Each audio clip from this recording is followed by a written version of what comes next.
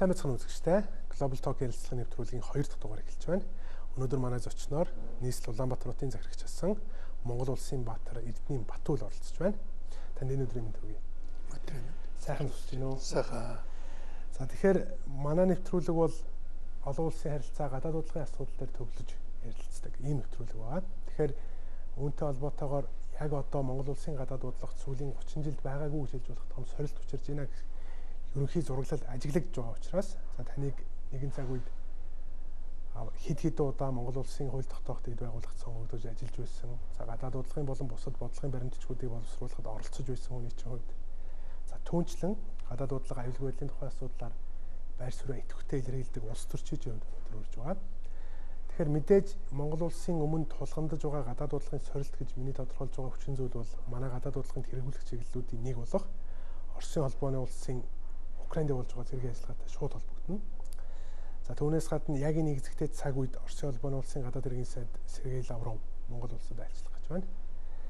Тэгэхээр хоёулынгийнх нь ярилцлага бол пүрэв гарагт буюу Лавров гадаад хэргийн сайдын айлчлалын дараа телевизээр цацагдана. За хоёулынх нь ярилцж байгаа өдөр бол айлчлалын өмнөх өдөр буюу даваа гарагт байгаа.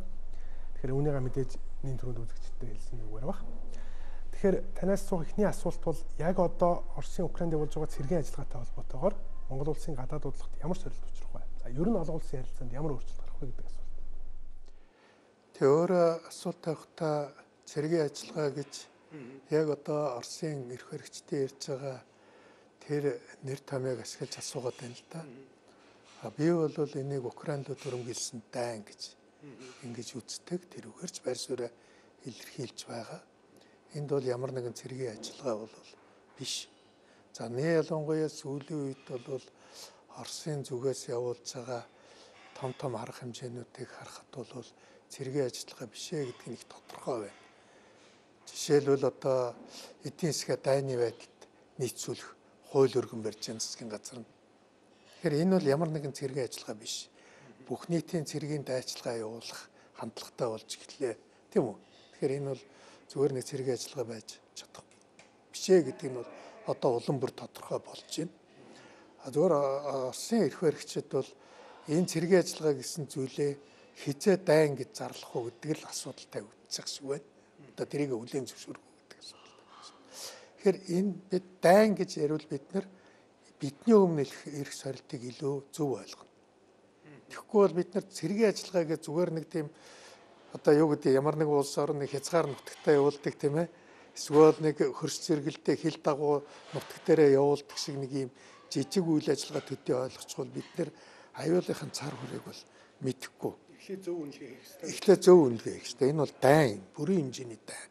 Тэгээд энэ нь бол мэдээж хэрэг манайд бол шууд нөлөөлнө. Бид ч яг тэгвэл наацх нь л эрчим хүч одоо бензин шатхуунаа л одоо үндэ хой төршөөс авдаг. Одоо гол одоо эдийн засгийнхаа гол суур хэрэглэгээг хойноос авдаг учраас манад асар нөлөөтэй. Би тэр хэтээлийн дай эхлэхэд л би хэлж ирсэн. За одоо бид анхааралтай байхгүй болохоо байлаа гэж. За Лавровын айлчлал бол яг энэ дай хийж байгаа гүрний гадаад хэргийн сайд айлчилж байгаа гэж ойлгоё бид. Тийм үү? За нэ ялангуяа сая одоо дайны байдалд эдийн засгаа шилжүүлэх ийм засгийн газар шийдвэр гаргасны дараа ирж байна. Засгийн газар нь хууль өргөн барьчлаа шүү дээ. Лавровч нь засгийн газрын танхимын гишүүн. Тэгээ энэний дараа Монголд ирж байна. За энэ бол их олон зүйлийн учир шалтгааныг эндээс бид харах хэрэгтэй. Өөрөөр хэлбэл эдийн засгийн дайны байдал шилжүүллээ. За нэлээд урт хугацааны одоо дайн болно л гэсэн бэлтгэл хийж гэнэ гэсэн үг шүү дээ тийм биз дээ. Тэгээд энд Монголд ирлээ. Монгол бол ялангуяа мал аж ахуйн асар их нөөцтэй орн. 80 сая долгоо малтай. Энэ хуучин зөвлөлтийн гэж явах үед бид нэр яг үндэ зөвлөлтийн армийг одоо мах болон махан бүтээгдэхүүнээр хангахад одоо манай мал аж ахуйг шийдвэрлэх үүрэгтэй байсан орн. Тийм үү? Тэгэхээр зэрэг энэ эдийн засгийн оргид орцсон тэгээд их урт хугацааны дайнд бэлдэж байна эдийн засгээ тэрэнд нийцүүлж байна. Хоёрдугаарт нь бол одоо жишээ нь Марта гэдэг одоо манад одоо хуучин энэ зөвлөлтийн үед бол ураны асар том үйлдвэрлэл байсан. Мартаан уран ураны нэг онцлог нь бол дэлхийд их ховорхон одоо баяжмал. маш их одоо өндөр баяжилттай ийм хүдэртэй. Бараг л гарахтал бараг бол уран бэлэн гарцгаар үйлдвэрлэлийн зардал багтдаг. Тийм баяжмалтай гэж ярьдаг. Тэгээд энэ чинь яг нөгөө мардаг хаахта бүгдийн цементээр очиад тэх ёстой л доо нөгөө цацар гитэх алдахгүй тулд асар том бетон цементээр очсон байгаа. Гэхдээ одоо энэ дан чинь үргэлжлэн энэ дайнд бол таагцгийн зүмийн цогтууд хийгдэж магадгүй гэж штэ таагц стратеги юм биш таагцгийн дор аяж. Ингээд бодоход бол одоо мартааш одоо ач холбогдол нь эргэж босч байна гэсэн үг тийм биз дээ ингээд мал аж ахуй мардаа гэдэг их олон юм ярина. Гэх мэтлэнгээр ийм их цаг үеийн толгонцсон шаардлагууд гарч байгаа. За дээрэс нь бол одоо яг үндэ энэ дайны байдалд бол ер нь Монгол шиг цэрэг стратеги ач холбогдолтой ийм орн бол анхаарлынх нь гадна байхгүй байж таараа. Яг бол дайны явцад их гүрнүүдэд харансан агшин тутамд өөрчлөгдөж дайн бол их гүрнүүдийн геополитикийн нөхцөл байдлыг их тогтворгүй байлгадаг. Хизээч хэн хаашаач орч магадгүй. Хаагуурч явж ич магадгүй тийм үү? Гэтэл бол энэ монголч нь бол Оросын аюулгүй байдлыг хангадаг асар том бүсэн нутаг байхгүй юу? Аюулгүй байдлын бүстэй. Бид Оросууд биднийг хамгаалдаг гэж бодоод байдгийг. Өмнөдөө бид Оросыг хамгаалдаг байхгүй? Даа явлангуй Сибирь маш том хамгаалтанд ордгийг Хэрвээ Монгол гэдэг улс байгаагүй бол халахын голын дайнаар Японууд халахын голын дайны дараа инхийн харилцуул давталх гэрээ байгуулахгүйсэн. Тэр үед байгуулаагүй бол доронтоос нь бол Японууд айр хавилт байсан. Монгол каунт Монгол манжуур хоёроос дайруул тэгэл ер нь тэр үед зөвлөлт орон бол сүрх байсан тийм үү. Жишээ нь бол Монголд бол хятад 69 онд өргөн хэмжээний одоо хүнээр зодсон дай их гэж оролцсон хятад руу. Гэхдээ Монголд байсан хайр маш л айсан хятадууд бол зөвлөлтөө хайр маш айсан. Гэх мэтлэнгээр ингээд яг үндэ бид Сибирийг хамгаалдаг жиргэвч ус байхгүй ер нь Оросыг өөрийг хамгаалдаг. Тийм учраас энэ геополитикийн ийм нөхцөл байдлын ээдрэтэй тогтворгүй те ийм болж байгаа үед бол Оросын аюулгүй байдлын бүсээ өргөжүүлэхийг бодох нь гарцаагүй шүү дээ. Гарцаагүй. Тэрнтэй Лавровын айлчлал байлж байгаа. Тэгээд хамгийн гол нэг аюултай юм аюулчиж биднийг өөрийнхөө одоо дайны үйл ажиллагаанд татжууруулах гэдэг. Дайны үйл ажиллагаанд татжууруулах гэдэг. За энэ бол бидэнд бол маш хүнд байдал авцар. Жишээ нь одоо тэр Еврат Еврат Евразийн эдийн засгийн холбоо гэдэг энэ одоо зүйлд орохыг одоо тавьж магадгүй гэж одоо хүсэлт яригдал байна л да. Эн чи юу гэсэн үг вэ гэхээр зүгээр тэгвэл бид ерөөсөө энэ Монгол эдийн засгийн дэлхийн эдийн засгийн оргидор шууд өөр. Хэрвээ бид ингэдэг юм бол тийм биз тийм. Энэ маш аюултай зүйл юу. Тэгэхээр мэдээж таасаа хэлж байна. За Орос Украины асуудлаас үүдэлтэйгээр илүү өргөн хүрээний том дайн дэгддэггүй юм а гэхэд мэдээж их гүрнүүдийн хоорондын үзэл суртал улс төрийн маргаан зөрчил бол нэгэн тодорхой болж байна. Тэгэхээр бид нэр урд өмнө түүхэндээ ийм цаг үеийг туулсан хүндрэлтэн. За магадгүй хүдэн дайны үе шиг үзэл суртлын маш том сүргэлдэн их гүрнүүдийн хооронд явах зураглал үүсч болохоор. Тэгэхээр энэ нөхцөлд мэдээж сая таны хэлсэнчлэн их гүрнүүд бол жижиг улсуудыг үндсэндээ зүгээр л хуваагаад авчихна. Тэгэхээр үнэхээр ийм нөхцөл үүслэе гэж бодоход үүслэе гэж бодоход манай гадаад бодлогот бол мэдээж тэргүүлэх чиглэл нь Орос мөн Хятад мөн Орос Хятад гэсэн хоёр хөрчтэй тэнцвэртэй харилцах асуудал бол манай тэргүүлэх чиглэл. Үүслэе гэж бодоход манай гурав дахь төршийн бодлого гэдэг юм уу? бодлогын бусад чиглэлүүд саран үжих нөхцөл үүсгэв. За эсвэл хоёр өрштэй тэнцвэртэй харилцах бодлого цаад учрах нөхцөл үүсгэв гэсэн үг. Юуны өмнө бол нөгөө гадаад бодлогын үзэл баримтал зөрчигдөхэд төрн манай. Нөгөө их хурлаар баталсан тийм үү? Өөрөөр хэлбэл бид чинь олон толгуурт одоо толгуурт гадаад харилцаатай. За тэрэн дотроо тэргүүлэх чиглэл нь хоёр өрш. Манай энэ гадаад харилцааны томьёол бол гайхалтай томьёол шүү. Энэ бол үнэхээр одоо мундаг том ял. Үнэхээр жинхэнэ бодлого энд. Тэгэхээр одоо нь бид Оросуудын өсчихсэнчлэн Евразийн холбоонд эвсэд орчих гэж боддгийг бид нэр. Тийм үү? Яг бензинээс болоод орчих гэж да. Одоо бензиний шахалтаас болоод орчих гэж бод. Тэгвэл эн чинь яаж нөхөр нөгөө нөгөө хоёр өршөлтөйгээ тэнцвэртэй харьцна гэдэг зарчим ч алдагдчихна. Тийм үү? Энэ маш аюултай байхгүй. Өөрөөр хэлбэл бид Оросын дагуул улс иргэд болно л гэсэн үг шууд. Хоёр өрсийн тэнцвэртэй байдал алдаг. За дээрэс нь бол барууны хоригт яваад орчихно. Одоо юу гэдгийг одоо 3 дахь хөршийн хоригт. Барууны ч ер нь 3 дахь хөршийн хоригт. Жишээ нь одоо Хойд Америк, Европын холбоо бидэнд хориг тавихтал бидэнтэй ажиллах хөрөнгө оруулагч болтгоо билээ шүү дээ. Тийм үү? Бүр хятадын эмтдийн хинэн ч байсан шууд одоо эдийн засгийнхаа одоо үйл ажиллагааг татна тэд нэр. Яг улс төр тэгж шít. Энтхэн хэдийгээр улс төрөө төдгөлцөд байгаа. Хятад төдгөлцөд байгаа. Гэхдээ эдийн засгийн үед баг хоригт цуг яваад нь шүү дээ. Орос эсрэг. Яг гэвэл Оростой эдийн засгийн харилцаа хийх гэхээр нөхөө дэлхийн одоо одоо өндөр хөгжилтэй орнуудын хоригт орчих гээд шүү дээ өөрсдөө.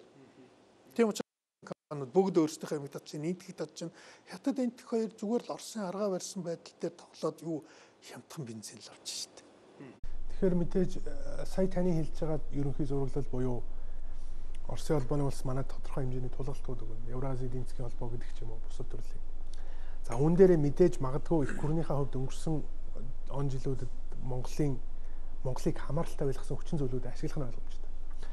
За яг ийм сценаар үүслэе гэж бодоход яг сая таны ярьсан зураглал буюу Монгол хоригт орно гадаад бодлогын хувьд хумигдана гэдэг чинь бидний хувьд зайлшгүй явж байгаа зам юм уу? Эсвэл бид нар эндээс гарах, эндээс зугтах өөр ямар нэг сонголт боломж арга байгаа юу гэдэг асуулт байна л да.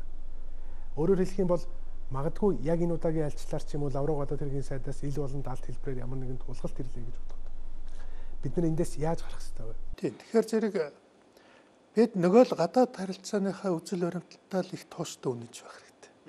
Тийм үү? Бид олон тулгуурт гэхдээ хоёр өөртөө тэргүүлэх харилцаатай, тэнцвэртэй харилцаатай Мөн үү? Энэ бодлогоо бид тууштай. Энэ их олон юм учир зангилааг тайлж байгаа бодлого шүү. Тийм үү? Бид чинь 3 дахь хөрш гэдэг томьёол чинь манахаас гарсан томьёол. Энэ олон улсын хэрлэгт хэрэглэгдсэн маш хүчтэй томьёол ч тийм биз дээ. А бид энэ 3 дахь хөрштэй харилцах харилцаагаа их тогтвортой барина. Өөрөөр хэлбэл ер нь бид олон тулгуурт гадаад харилцаанаас ерөөсөө хазаахгүй л гэсэн. Хазааж болохгүй. Хазааж болохгүй гэсэн үзэл баримталтай. Яг бол бид хазаахын аюулыг нэг тулгууртай байх аюулыг үздсэн байхгүй юу? Тийм үү? Үзээд энэ томьёол гарч ирсэн. Тийм учраас бид энэ томьёолоо бас нөгөө талд ч хэлнэ. Бид өөрсдийнхөө дор хаяж Монголын төрч хуулиар хэрэгжүүлэх ёстой шүү дээ. Их хурл чи шийдвэр гарсан чи хууль шүү дээ тийм биз. Тэлээ тэрийг хэрэгжүүлэх ёстой. Энийг бол ямар ч одоо эрүүл ус бол ойлгоно. За дээрэс нь бас нэг зүйл бий. Мэдээж хэрэг Монгол бол одоо Оросын дагуулын улс болчихно гэдэгт бол за өрөндийнхэн дургуцаа зогсохгүй, өрөндийн одоо орнууд дургуцаа зогсохгүй ятаж энэ татаа андахгүй, энтгэгч татаа андахгүй. Тийм үү? Ер нь бол Оросоос өөр хинж татаа андахгүй тий. Тий, Оросоос өөр устд татаа андахгүй.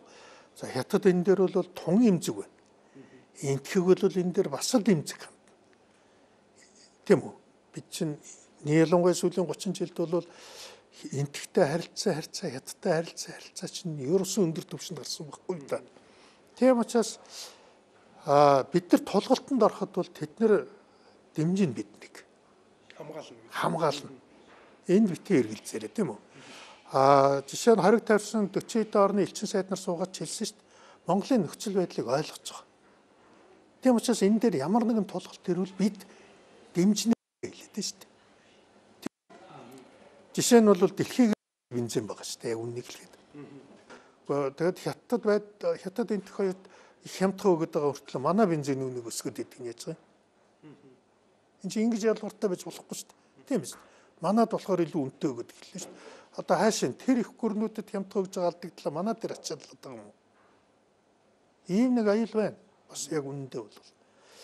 Тэгэхээр зэрэг бид бас энэ талаар асуудал тавих хэрэгтэй шүү дээ лаврууд. Та нар чи яаж байгаа юм бэ чинь?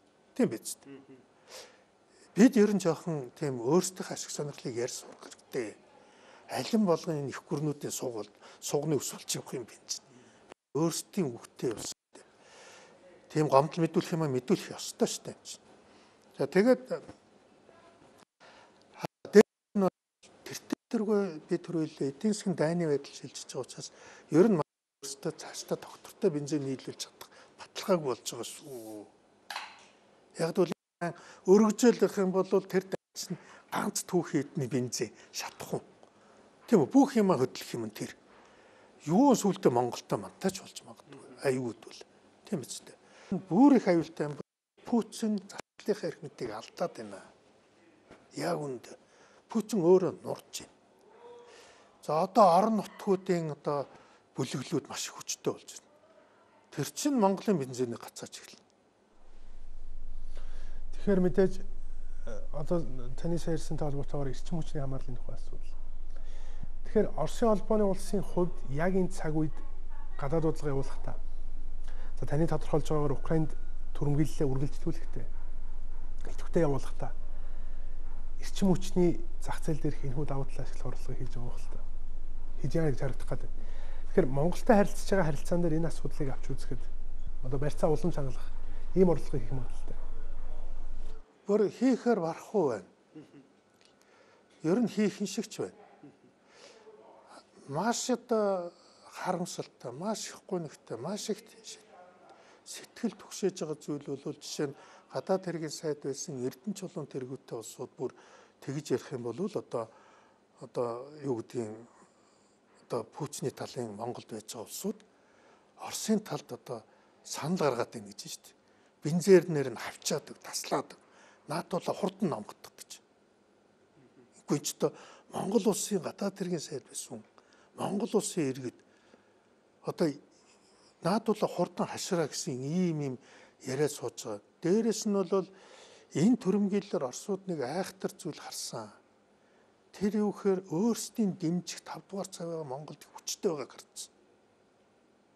Яг бол өөрөөр хэлбэл Монголд бол ерөөсөө өөрсдийн дэмжиж байгаа цувааг төрийн эрхэнд гаргачих юм бол тийм үү дайнгүйгээр эзлэх болцоотой дайнгүйгээр дагуул ус бол болох болцоотой байна гэдгийг хардсан. Энэ хамгийн аюултай зүйл байхгүй юу? Тийм үү?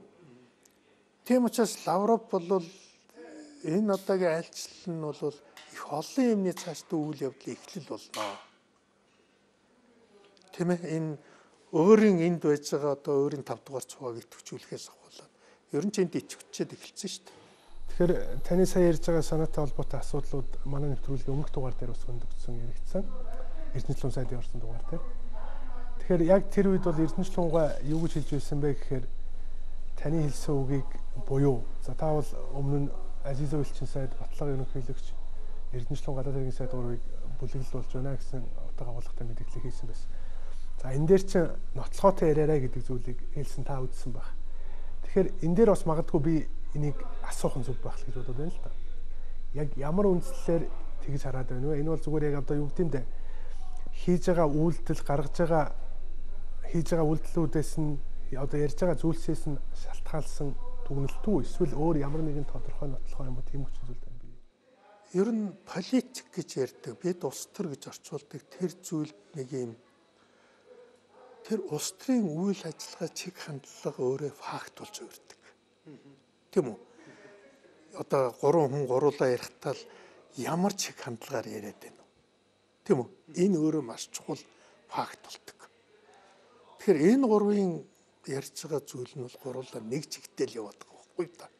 Өөрөөр хэлбэл Монголын арчлалд таагүй ханддаг тийм үү? Энэ ерөөсөө энэ бол одоо энэ байдлыг өөрчлөх ёстой. Чамтай яг ярилцж байхдаа Эрдэнэ чулуун сайдаас чи асуусан одоо Оросын тал дайны байдалтай аль талд орох уу гэлүү нэг тиймэрхүү маягтай асуух те шууд Оросын талд орно гэд ямар ч эргэлзээгүй хэлж байгаа шүү дээ. Тийм үү? Гүн чинь нөгөө гадаад бодлогын олон тулгуурт бодлого яасан бэ? Тийм үү? Нөгөө бид нар чинь аль нэг талд болохгүйгээд үндсэн хуулийн дээр байж байгаа шүү дээ бид. Тийм биз дээ. Тэр яасан бэ? Юу болсон? Тийм үү? Бид энэ геополитикийн тулаанд үед аль нэг талд орох шиг тэнийг юм байхгүй шүү дээ. Яг тэгвэл энэ геополитик бид тодорхойлж байгаа юм биш шүү дээ. Тэгэхээр бодолтой. Жишээ нь бол бүр одоо чамтай ярихаас өмнөх ярилцлаган дээр ч Эрдэнэ чулуун хэлжсэн Батуулагч ярилцлагата ТV8-аар ярьсан ярилцлагад хэлжсэн шүү дээ. Гэхдээ манай ард түмний 80% нь Оросыг л дэмжиж шүү дээ. Оросын талд л байна шүү дээ. Тийм үү? Асис гарч ирээд бол одоо гээ Монголын одоо арчил гэж энэ нэг балаа энэ арчилсан нам гэж юм балаа юм одоо тийм ээ.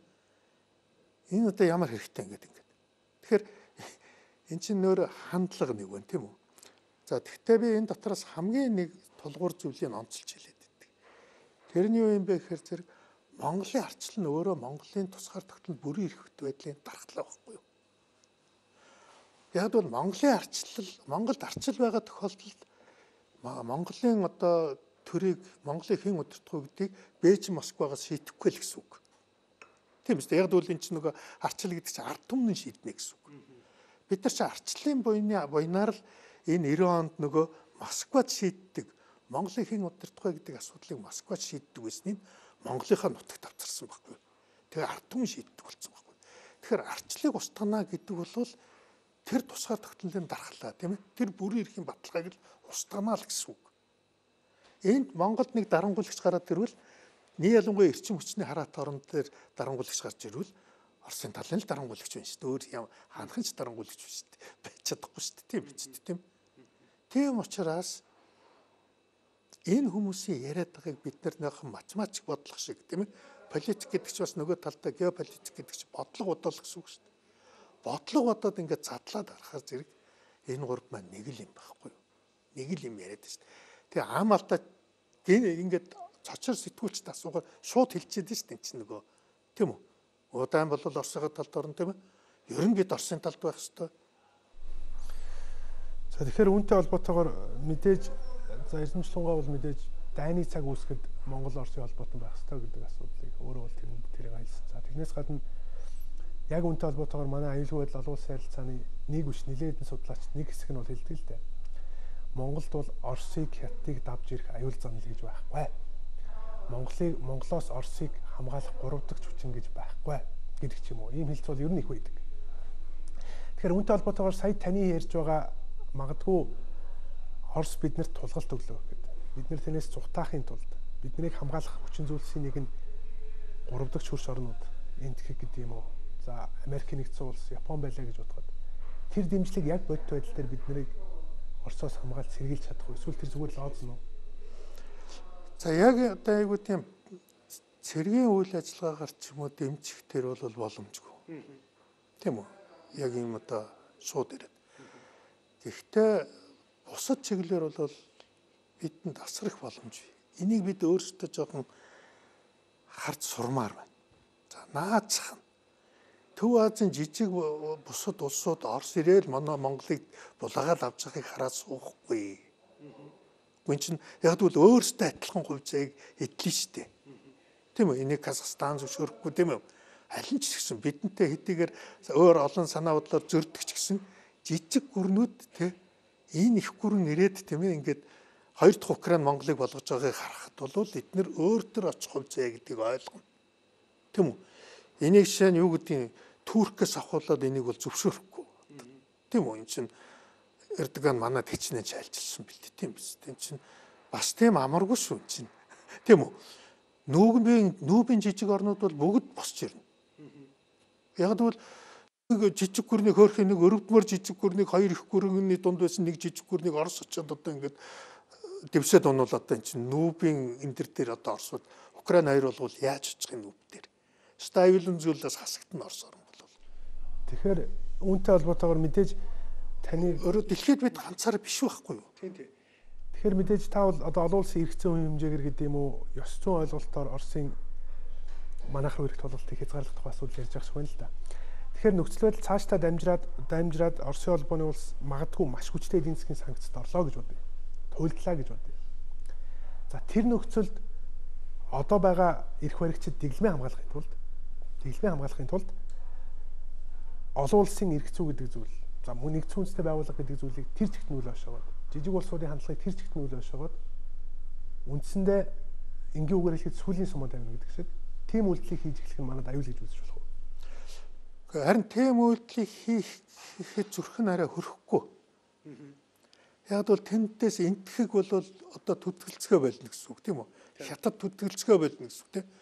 Юу ганцаардна гэсэн үг. Бүрэн ганцаардна. Ямар ч найдварг болно. Бүр ерөөсөө Монгол руу одоо одоо бол бид яг хятад эдэр гэдээ яриад байгаа шүү. Бид чинь бас одоо бүр бүр одоо өрнөд эдэр гэдгийг орхичих тийм үү? Одоо бүр тэр мөрийг орхичих. Үгүй энэ Шанхаан хамтын ажиллагаанд байж байгаа энтгэх хятад гэдэг улсууд байна шүү дээ. Зүгээр хараа суухгүй. Бид ч бас хэлгүй улс биш шүү дээ. Бид нүүбэд асуудалтай байна. Аюулгүй зөвлөлд асуудал тавина. Бид энтгэхт асуудал тавина. Яттад асуудал тавина тийм биз дээ тийм ээ. Гэхдээ би бүр баруун маруун аюулд одоо байли. А уг нь бол бид бас энэ 40 хэдэн элчин сайдад хэлсэн шүү дээ. Ямар нэг юм хүндрэл учрууд бид туслахад бижил шүү гэлцсэн. Тэр чинь санхүүгийн тусламжаач хэлж байгаа шүү дээ. Бид жоохон үнтэйхэн одоо шатхан авъя л та тэднээс хөнгөлтөө үнийн дэмжлэгтэйгэр тийм биз дээ. Ер нь бол цаашдаа ингээд нэг газараас хараад байдалд байдаг л байли. Дэлхийгээр дүүрэн бензин байж зах те. Нэг орны бензин тавчигдаад өөрсдийнхөө бүр эрхийг эдэлж чадахгүй суuna гэдэг бол энэ бол тэнэглийн туйл байхгүй да. Биднэрт биднийг оролдвол Оросд өөрт нь аюултай болчиход байна шүү дээ. Тэгэхээр нэг талаасаа магадгүй бидний сүүлийн 30 жил баримтлсан гадаад бодлого олон улсын давцсан. Нөө тий тэр чинь биднийг хамгаалж байна гэж харж байна. Ер нь бол Монгол гадаад бодлогоор нэг аюулгүй чухал одоо хоёр имижтэй байсан байхгүй юу? Манай гадаад бодлого их тогтвортой байсан. Тийм үү? Жишээ нь одоо ингээд 90 оноос хойш дэлхийн ороо босгоо болж л байла. Гадаад харилцаа хачин өөр болж исэн тий бид нөгөө хойц солонгостой харьцыг ирэл байла тийм биз. Кубтай харьцаагаа таслаагүй тийм үү? Аюулгүй шууд сууж их тогтвортой гадаад бодлого явуулдаг. За жижиг орнуудын нөгөө эвсэлт нэгд үл нэгдэх хөдөлгөөнд бид оролцоод явлаа. Тийм үү? Энүүгээр жоохон нэг сүүлийн үед л жоохон базаахгүй нэр хүндээ барчих гэдэг л да. Тэрнээс биш ер нь бид айгүй нүүбин жижиг орнуудын өрөөнд их нэр хүндтэй байхгүй юу? Тэгээ тэд хардаг байхгүй юу? Манайх шиг ийм онцгой байралтай улс байдаггүй дэлхийд. Яг бол дэлхийн хоёрыг аврахыг гих гүрний дунд байдаг. Зүгээр их гүрний дунд байд юу хөршиг хоёр улсын дунд байдаг жижиг гүрэн гэж би одоо юу гэдэг бал юу гэдэг боли моли одоо янз бүрийн ус тийм үү. Гэхдээ их гүрний дунд байдаг тийм жижиг ус гэж одоо ганц л байгаа манайх. Хоёр их гүрэн.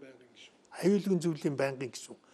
Тийм ч учраас бид чинь бас тусгаар тогтнолоо баталгаажуулах гээд бид чинь цөмийн зэвсэггүй статустай бүстэй болсон шүү. Аюулгүй зөвлөлийн тогтоолттой орн шүү Монгол орн бол. Тийм үү? Гэт ингээд энэ хугацаанд бид бол гадаад бодлого асар их бэхжүүлсэн байхгүй. Энийг ерөөс ойлгохгүй нөгөө яг 90 оноос өмнөхөр байснаас сэтгэхэд байгаа. Эрдэнэчлүүднээс ахуулаад манай гадаад бодлого шиг ер усын амжилттай энэ 30 жилд болсон бодлого байхгүй шүү дээ яг үнэндээ. Энүүгээр бол дэндүү. Бид бод гадаад харилцааныхандаа бол мөргөөл ахаас өөр арга байхгүй ерөөс. Тийм үү? Супер ус. Одоо бүр наазах нь ингийн жишээ хар. Манай сэтгүүл зүйн салбар дотор хамгийн супер одоо эрчимтэй хөгжсөн нь юу? Гадаад тойм. Тийм үү? Одоо манай гадаад тойм бол одоо мөн амар болсон шүү дээ. Одоо ер нь лот болсон шүү дээ. Та нар бол одоо ер нь одоо энэ гадаад бодлого чинь Монголын жирийн иргэд уншихтайгаа болоод байна шүү дээ. Тэгтээ харамсалтай. Энэ 30 жилд гадаад бодлогын ямар том агуу өсрэлт хийснээ ерөөс ойлгоогүй. Гадаад харилцааны ямар том хувьсгал хийснээ ойлгохгүй шүү дээ ерөөс. Яг нэг хуучнараа сэтгэдэг байгаа. Тийм хүмүүс байна. Тийм учраас бидний аюулгүй байдал бол бидний бодож байгаагаас ч олон дахин илүү баталгаатай байгаа гэдгийг бол хэлмээр. Гэхдээ өөр нэг аюулгүй байдал. За Орос ингээд одоо үнэхээр их гүрэн тэр чигээрээ одоо баламдаар орж ирэхэд бид бол энэтэй үзнэхэд бол хэцүү. Гэхдээ би сая хэллээ шүү дээ. Энээс энэ бол Оросд бол өөрийгөө сүтлэхгүй л юм бол юм юм юм. За бензинаар хавчих мавчих гэтэр юм явуул энэ бол за нөгөө хоёр энтх хятадаас ахуулаад олон улсын дургу өргөн. Гуравдугаарт бид чинь бол хүмүүс нэг юм ойлгодоггүй шүү дээ. Бензэг бензин нийлийн нийлүүлэлтийг бид нар олон улсын гэрээгээр хийсэн байхгүй юу? Манай компаниуд чинь Сингапурын хөрөнгө юу биржтэй бүртгэгдсэн арилжаан дээр олон улсаар бүртгэгдсэнээр ирсэн. Одоо энэ Орос чинь олон улсын гэрээг зөрчөөд бүр одоо сүүлдээ бензин дээр зөрчиж ирэх юм бол эн чинь ер нь их олон юм болно шүү дээ эн чинь. Тийм үү? Энтэг ятад хоёр гэдэг худалдаа авагч чинь эсэргүүцэл илэрхийлнэ шүү дээ эн чинь. Сингапурын биржээр хийсэн юм чинь. Тэгээ ийм зүйлүүдийг бид ойлгох гол нэг аюул байгаа маа. Хамгийн гол аюул. Энэ ямар аюул уу гэхээр зэрэг Орос дотроо иргэний дайм болох магадaltaй болчлоо. Орос дотроо задрах багт. Орос задрах нь байна. Иргэний дайм болох нь байна. Аюул улаан цагаанаар болох нь. Путин засаглаа алдцсан. Энэ бол илтгэд байна. Путин одоо Орос оронд бол Путинд бол НАТО ч аюул биш болсон одоо. Мөн үү? Яг үнэндээ. А Путинд бол гол аюул нь дотоод аюул болсон. Яг тэгэхээр энэ олон соёлтой, олон шашинтай, олон одоо үндэстнээс бүрддэг ийм улс орн гадааднаас төрөнгөлөхэд дандаа нурдаг байхгүй юу? Задардаг. Тийм үү? Яг тэгвэл энэ олон соёлыг тэр дайнд олон үндэстнийг тийм ээ олон ашиг сонирхлыг нэг дайнд руу чиглүүлэх нь аюулгүй хэцүү. Бориодуудыг дандаа өөрийнхөө өмнөөс ойч залуулаад ич чадахгүй шүү дээ. Тийм биз дээ. Чичээнүүдийг ингэж ич чадахгүй шүү дээ. Тийм биз дээ. Энэ өөрөө маш осолтой зүйл байдаг байхгүй юу? Ер нь дэлхийд баг Сталин ч баг ийм юм хийж байгааг байхгүй юу. Яг бол зөвлөлт тус задрна гэдэг айгаад хийдэггүйсэн байхгүй. Пүүч харин хийчихсэн нэг бол. Тэгэд одоо яаж юм нөхөр ингээд пүүчнээс илүү радикалны одоо энэ энэ дайны чинь юугаар нэлээд догшин ирчүүд тодроод ирдэг байхгүй? Тэд нар санаачлаг авч ирдэг. Нийгэмд радикалны үзэр улам газар авч эхэлдэг.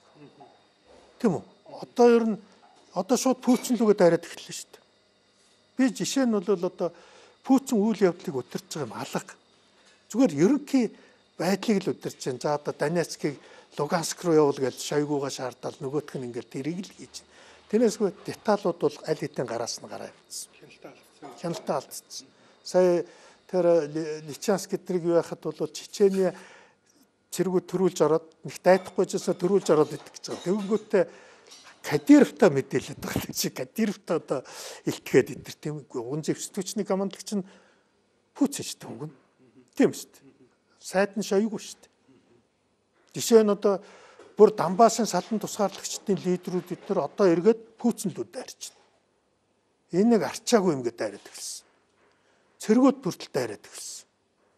За юу энэ өөрөө ингэж бумеранг шиг байдаг байхгүй аюу аюултай.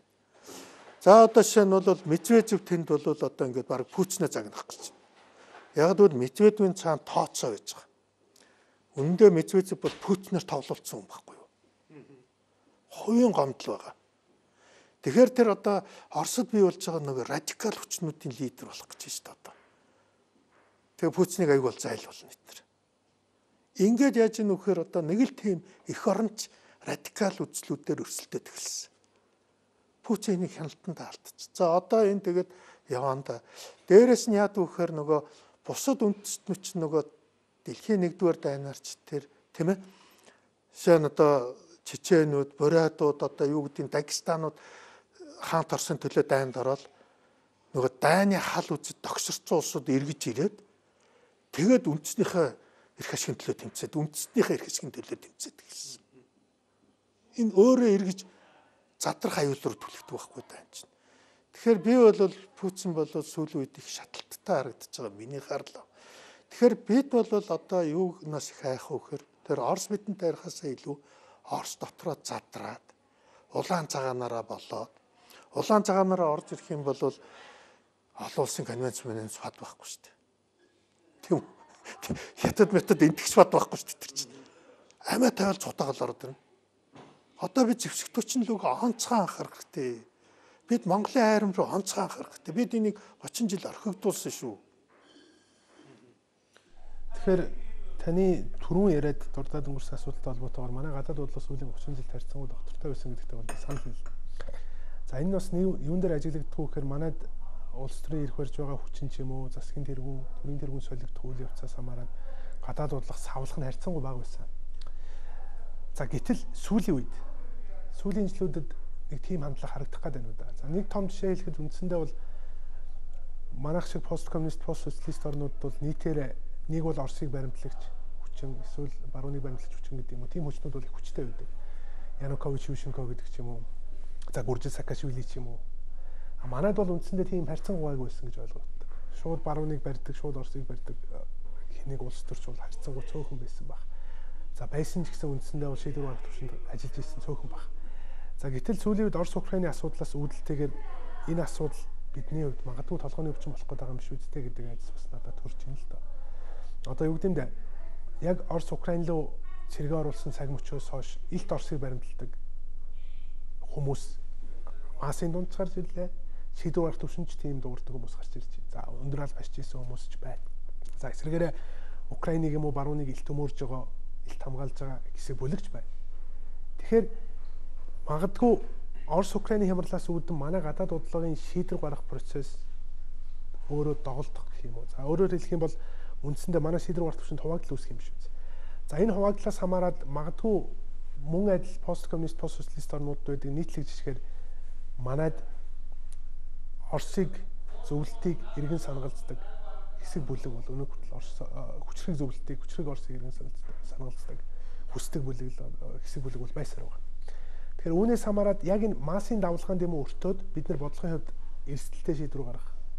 Өөрөөр хэлэх юм бол гадаад бодлогот нөгөө популизм гэдэг юм уу массын үзэлтөдлийг хит харгалзах үзэгдэл гарах вэ гэдэг юм айц байна л да. Та энэ тал дээр юу гэж бодож байна?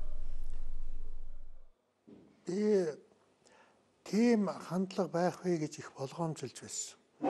Ер нь ч байна гэж харж байсан. Жишээ нь одоо ерөнхийлөгч асан Баттулга тэрэн дээр тоглож байна. Эрдэнэ чулуун одоо тэрэн дээр бүр хилт цагаан тоглож байна тийм үү. Тэгээд улс төр тэр реванш авах гэж үзэж байна тийм үү. Улаан цам Оросын эрх ашигыг хамгаалж байгаагаа ярьж байна. Тэрийг бол одоо Баттулга хэлэхдээ бол манай масын 80% дэмжиж нэтргээл ингээл хэлсэн. Тий. Гэтэл Сант Марлын судалгааг харсан чинь бол яг үнэндээ их өөр зүйл гарч ирсэн. Оросыг дэмжиж байгаа нь 19% байна. Аа за. Украиныг 2% байна. Оросыг 19. Тэгтээ уучлаараа 80 орчим хувь нь аль нь ч дэмжихгүй байна. Их прагматик байна. Жишээ нь одоо тэр залуучууд нь ялангуяа баг аль ч хамааралга. Зүгээр бензиний асуудал санаа зовж байна. Тийм үү? Бензинээр л харж байна. Тэрнээс бусд нь хамаалга тэдэнд бол. Яг үнийг хэлэхэд манай залуучууд чинь Орос руу цагаачлыг гэж ойцолж байгаа залуучууд байхгүй шүү дээ. Тийм шүү дээ. Дандаа л өмнөд Солонгос, дандаа л Америк, дандаа л Европ. Одоо ер нь Америк, Европын хоригт орно гэдэг бол Америк, Европын холбоо, Канада, Хойд Америк, Австралийн арчсан улсуудын хоригт орох нь Монголд их хүн тусгаар болсон шүү дээ. Яг тэгвэл нөгөө ах トゥ төрөл төрөсөдтэй гээд амьдарч байгаа холбоо аюул ихтэй болсон шүү дээ. Тэр хоригт одоо мөн аюул шүү дээ. Нөгөө долларын шилжүүлэг гуйвлах чинь хоригт орвол аюул шүү дээ. Энд чинь бензинээс аюултай зүйл шүү дээ. Энд чинь яг үннийг хэлэхэд бол тийм биз дээ. Энд чинь ахын төрлийн холбооны хоригт орно гэсэн үг. Дэлхийгээс таслагдана. Ой, тэр бол одоо тэгээд зүгээр л залуучуудынхаа цагаачлах сонголтыг хараарай л да. Орос руу явъя гэж ойцолж байгаа юм нэгч байхгүй шүү дээ. Тийм үү? Бүгдээрээ л баруун ярьж байгаа шүү дээ. Баруунаас таслагдах боломжгүй болцсон. Нэг юм энэ байна. Энийг ойлгох хэрэгтэй. Гэхдээ бас нэг юм айгүй чухал юмыг ойлгох хэрэгтэй байна. Бид нэг юм суралцмаар байна. Арчилсан нийгэм гадаад харилцаа бас олгоо өргөлж байдаг. Үгүй бодлого одоо санал үзлийн хувьд бол одоо юу гэдэг зарим нэг нь Оросыг дагуул зүгээр гин зарим нэг нь барууныг дагуул зүгээр гин зарим нэг нь хятадыг дагуул зүгээр гин эсвэл энтгтэй илүү ойр байж гэдэг юм уу те Казахстантайгаа энэ их нормальны зүйл байхгүй. Заавал харьцах талгүй те. Үгүй болохгүй ерөөс байж. Энэ дээр маневрлах болцоотой. Чи явж явж аюулгүй прагматик. Цагаа болохоор хинт ашигтай сонголтоо хийдэг. Арчлын нэг ашигтай тал нь энэ үүдэг байхгүй гадаад бодлоготой шиг. Маневр сайтай байдаг. Тийм үү? Тэгэхээр энийг хайрцаглах гэдэг юм. Би зүгээр Батуулагт чи одоо нөгөө талуудад юу гэж хэлдэг вэхээр үгүй ээ тэр тэрийг одоо тэрнтэй хөрслүүл зүгээр итэр гэсэн зүгээр бодлогын хувьд одоо өөрсдийн нэг чиг хандлага илэрхийлэх бол асуудал биш ээ. тэрний төлөө ажиллаж эхлэх чинь л асуудал байгаа. Тийм үү? Өөрөөр хэлбэл Оросын дагуул болох гэдэг чинь асуудал байгаа. Тийм үү? Тэрнээсгүй Оростой одоо харилцаагаа сайжруулах, тэнцвэржүүлээч гэдэг юм уу? Энэ бол өөр асуудал яриад байна. Тийм биз дээ, тийм. Өөрөөр хэлбэл өөрийнхөө бүрийн их тусгаар тогтнолд эрх ашигтай аюул учруулахгүйгээр гадаад харилцаагаа л ярих хэрэгтэй байхгүй юу? Энэ дээр бид маневрлах болцоо л өгöd байгаа байхгүй юу?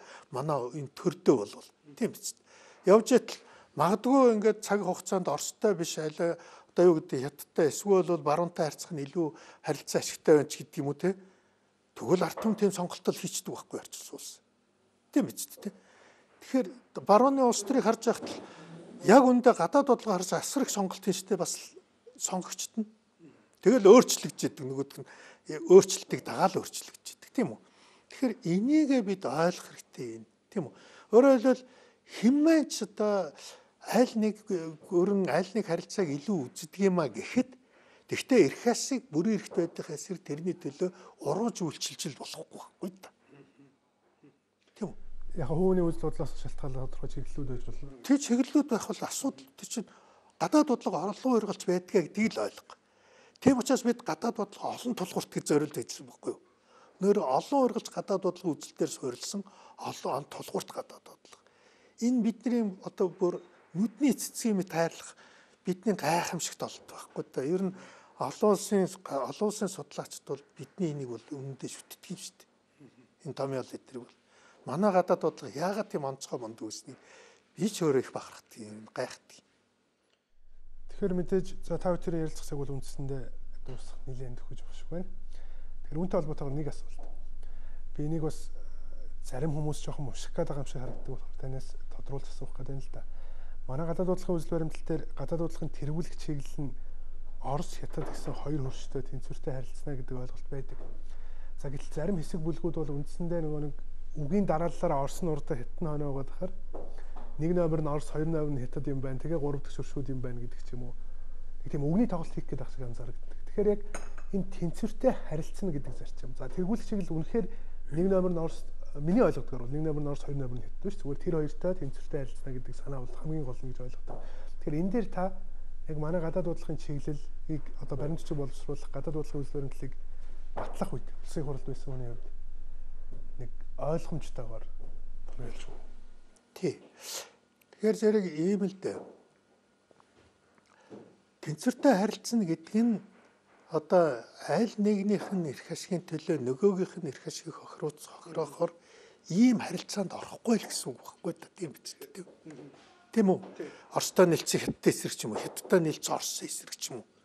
Явахгүй шүү. Бид нар энэ нөхцөлийг нийгэмдээ бий болгож, нийгмийн ухамсарт бий болгох одоо их тэрэн дээр жоох удаан явж байна. Хятадасаа гайдсаас болоо тийм ээ нөгөө зөвлөлтийн үед хийсэн нөгөө зөвлөлтүүлсэн монголчийг монголчуудыг зөвлөлтжүүлсэн байхгүй юу? Өөрийнх нь соёлоос гаргахаар барах одоо өөрийнх нь соёлыг устгаж Оросын одоо зөвлөлтийн соёлыг тулахаас гадна бүр нэг аюултай юм нь бол ер нь Оросоос бусад орныг харддаг үл итгэх дайсагнт үзэлтэй болгоцсон байхгүй юу. Нөгөө зөвлөлт Монголын ч үзэл гэдэг нь энэ өөрөөр зөвлөлтийг бурханчилдаг үзэлтэй болгоцсон байхгүй юу. Тэгээ энэ бол харин манай нөгөө сайхан томьёолсон сайхан гадаад бодлого дээр аюулгүй хортой нөлөө үзүүлэхээс гадна хөгжилд хортой нөлөөлөд байгаа. Тийм үү? Өөрөөр хэлбэл нөгөө хөрөнгө оруулалт нөгөө эдийн засгийн идэвхтэй харилцааг хийж болдог. Дандаа нэг тийм Бээжин шиг одоо юм хөх монголчууд гарч ирэл тийм ээ нэг юм хотлоо үндэсний наци үзэлт үзэлт нь үндэсний манай тэр нацистуудын нэг ялгаатай юм зөвлөлтийг бурханчилсан Оросыг бурханчилсан нацистууд байхгүй юу?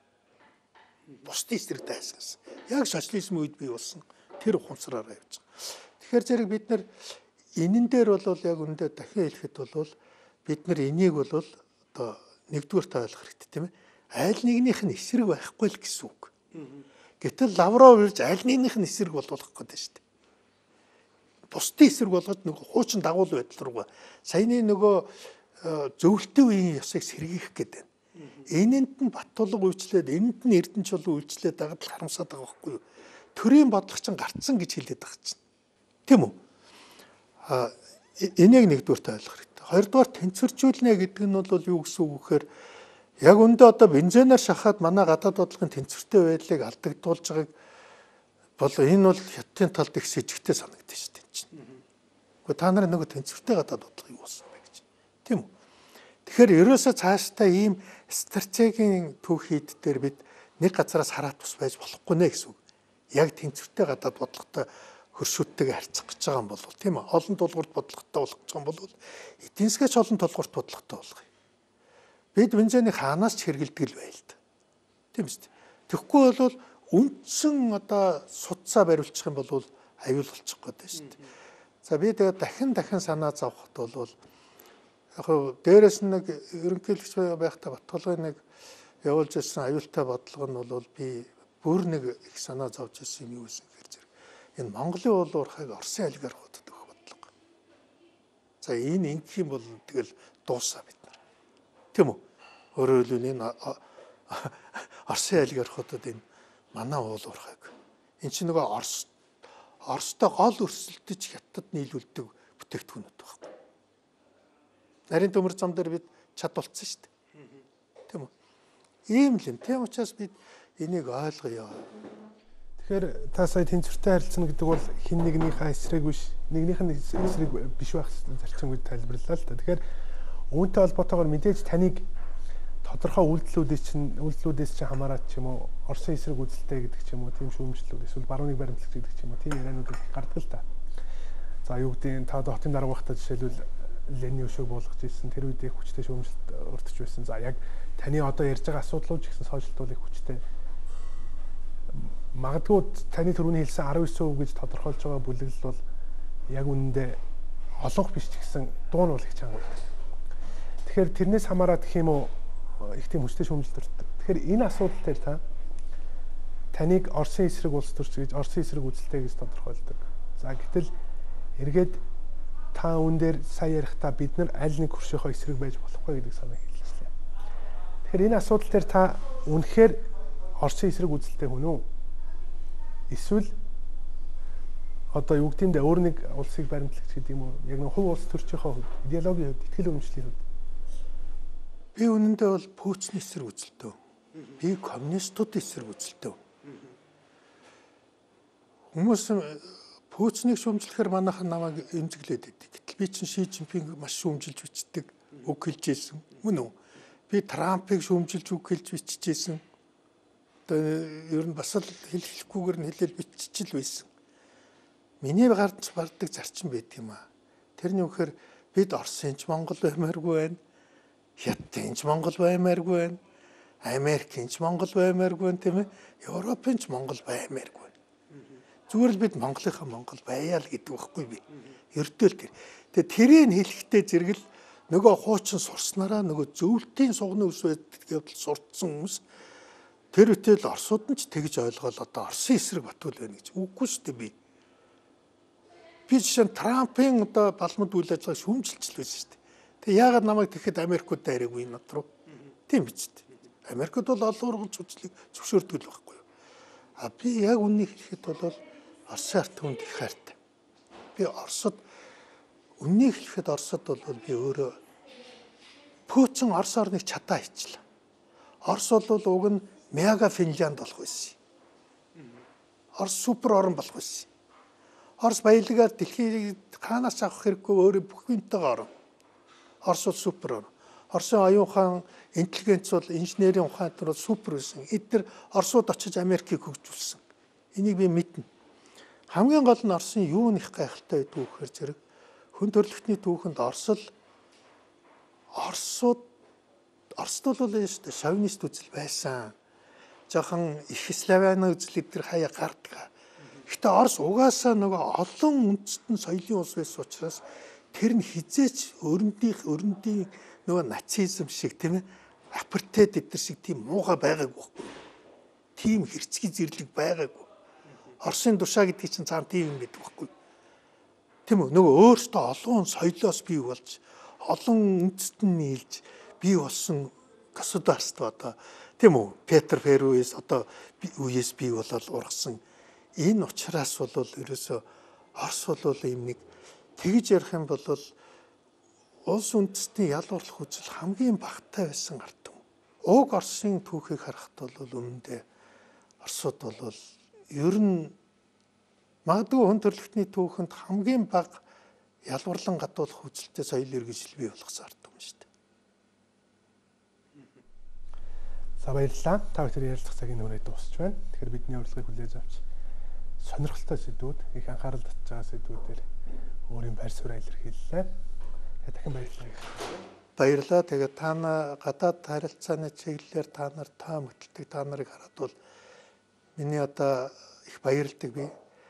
Арчлалын 30 жил бол манай гадаад бодлогооны сэтгэлгээг асар өөрчилсөн та нар аюулгүй хөв нэмэр оруулсан шүү. Тэрэнд их баярлалаа шүү.